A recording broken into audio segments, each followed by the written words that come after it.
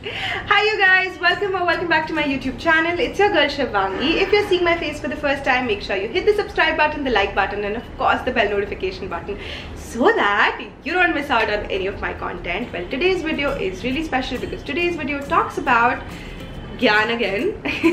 Just kidding. Today's video talks about things that you should be doing to make sure that you use your college time to its maximum capacity, you utilize it and use it to the optimum capacity possible. A lot of you guys have been requesting me for this kind of content. So I decided to share things that I had done back in college and we're talking about six things. Shayad din wo in. छः दिन और college की पढ़ाई sorry यार, मेरे jokes ना बड़े ही sad होते जा रहे हैं. पर anyway the point being छः एडवाइसेस हैं मेरे पास आप लोगों के लिए and without wasting any time शुरुआत करते हैं शुरुआत से. Okay number one number one Alright, so number one advice that I have for you guys is start your day really fresh and early in the morning. Do not miss out on any morning lectures. I know बहुत सारे बच्चे बहुत आलसी होते हैं and you end up doing a lot of things late in the night. You end up working a lot at late hours of the night. So you end up not waking up on time for your morning lectures and you feel that it's okay, fine, you have enough attendance in this particular subject. It's okay if you miss a lecture. Please try and avoid doing that because when you start your day fresh, when you make it a habit to start your day at a reasonable time, wake up on time, shower, eat your breakfast get some food in your stomach you have a productive day overall. And that's very very important because as creative people we are as it is using you know our right side of the brain much more than the left side of our brain. So if we want to be fresh we have to have a sound six to eight hours of sleep and we have to wake up at a decent time so that we don't miss out on any of our lectures. Because having a start which is productive is so much better than having a groggy morning no? I have always done it and i personally feel uh, if you want to make the most of your college life you have to be first alert and aware and to be alert and aware you have to sleep on time and wake up on time. So be alert. Wake up on time the number two advice that i have for you guys now is that uh, a lot of times students are seen to be missing workshops and field visits because they don't have attendance and you know they're not getting marked on it so they feel that it's okay it's fine. But please don't do that. Don't miss out on any opportunity that you're getting from your college to go attend workshops learn tie and dye learn batik learn uh, macrame learn you know the art of embroidery anything and everything that's being offered by the college take it with both your hands. Don't miss out on that chance. And also if you're getting a chance to do field visits go to workshops warehouses go to designer boutiques go and visit multi-designer stores don't miss out on those opportunities as well. Because as a student the tag that you have the student tag has so much importance to it you just don't realize it yet. But trust me today nobody is intimidated by you no brand no designer is intimidated by you. They're going to welcome you with arms wide open ki ha aao bachcho hum aapko apna you know facility dikhate hain. And this is the time where you network where you reach out to these people learn from them maybe grab an internship opportunity for the future maybe end up talking to their karigars and learning how things actually done in the industry or maybe just absorb it all in and figure out हाँ भाई मेरा कारखाना जब होगा तो ऐसा होगा you know little little things that you can learn so always be an opportunist and do not miss out on opportunity especially free वाली तो बिल्कुल भी नहीं you know the amount of money that your parents are spending on your college education make sure you make the most of it do not miss out on any opportunity that's coming your way small big whatever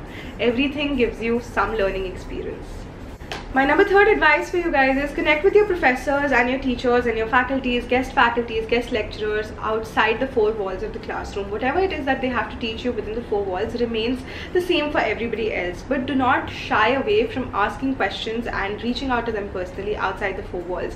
Uh, you have no idea, you might end up getting a mentor for life within these four walls of your college and you might end up uh, learning so much more. You might end up getting so many more opportunities later on in life or networking with them them for future uh, projects. If you just are aware and if you take the plunge and try and connect with them because uh, these professors or these guest lecturers or these mentors who come to college are some of the renowned names in the industry. They come with so much experience you know as backing and this is your chance to make the most of this time. Do not be that kid who's always only interested in the class attendance and being there in the class and doing the work and then going back home and chilling be the kid who would take that extra step take that plunge make an effort and actually reach out to them. What is the worst that can happen? They'll reject you? Fine.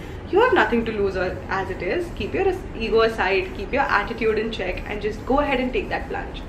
Take it.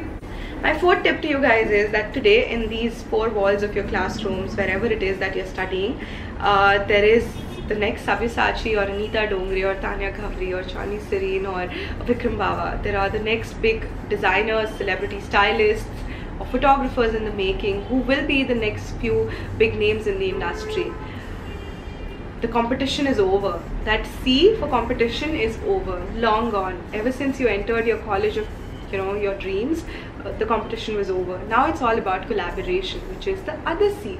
So be mindful of which c to choose when. Don't be competitive be collaborative. Understand that these people whoever is in your class your peers will end up becoming the next big things in the industry. This cohort this class that you have gotten this cohort that you create around you will have a lot of impact in the future. So make the most of it. Connect with people collaborate with people conceptualize create. But don't compete. Compete with yourself but don't compete with them. My number fifth advice to you is make a give and get list. This is very very crucial for everything in life. Whenever you are asking somebody for something you should always have something to offer in return. The transaction always have to be mutually beneficial to both parties. So when you make a give and get list what you're doing is in your head if say for example a is giving b something then a also needs to know what he can get back from b. And b also needs to know that if b is getting something from a what is it that she can give back to a? So these are things that you should be mindful of because if you want to have a sustainable long-term relationship with people you're working with there always has to be a give and get list you always have to understand that it is a two-way street. It's not a one-way street. You cannot just be giving and you cannot just be taking. There has to be a balance Alright, my last and final advice to you guys would be use the resource center, the library to its optimum capacity. The kind of access you have there will not come back to you. You asked me how to make the most of college. Uh, Narendra Kumar Ahmed had come to our orientation when I was in college in 2011, uh, I think 26th or 27th of July and uh, he had said this, that within the four walls of NIFT Mumbai, everybody will get the same education, the same knowledge, the same information, the same lectures, the same faculties, but there will still be some students who will take back more. Be that student who takes back more. Use the resource center, use the faculties from other departments, reach out to them, take their help. Teachers are there so that you can take their help. If you want to make the most of your college experience, go to the specialists. If you want to have um, a certain textile developed go to the textile department go to the textile design faculties ask them if you want some help with designing a space go to the masters of design space faculties. If you need help with a certain skill set when it comes to knits or when it comes to lingerie go to the right faculties go to the masters in their crafts and go ask them. They're there so that you answer their questions. And trust me there's no inhibition uh, that should be holding you back. There should be no doubts that you should have that. What if they don't end up helping? Because they will. And what is there to lose even if they end up not helping? What's there to lose? At least you asked. So make the most of this time you guys because uh, this time is not going to come back. And later on you're going to regret if you didn't make the most of it. So might as well try and use all these six tips and make the most of your college education. If you enjoyed watching this video make sure you give it a fat thumbs up? Yeah. Make sure you give it a big fat thumbs up. Like share subscribe do all of that good stuff. Hit the bell notification button and keep waiting for more content that will be coming your way from me. I'm gonna go now okay? Bye. Bye bye bye bye. Bye. Okay going for real now. Bye